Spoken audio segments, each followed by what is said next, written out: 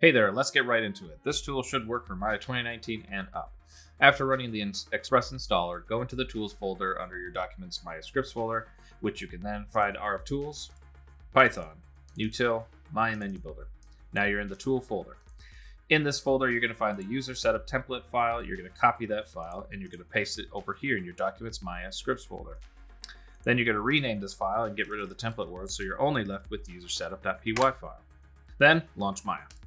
And once Maya's been loaded, then you'll see at the top you have an example menu. Look at that, there's buttons, there's submenus, there's more buttons, there's more buttons, and more submenus. So you can create something like this yourself. So if you want to create your own menu, then all you have to do is click the Launch Menu Builder button. In here, you will then create your own menu. I will create a whole nother video showing how, a demonstration of how to use the tool. But just so that you're aware, this example menu will also exist here. So now you can see, hey, look at that. That, that same structure exists here. Now that's it for this video, so if you want to see how it's used, then go to the video in the description and you can see how to use it. If this video was too fast for you, watch it again. Thanks for buying the tool, and as always, send me a message if you run into any bugs, crashes, or other unexpected behavior. See ya, and enjoy the tool.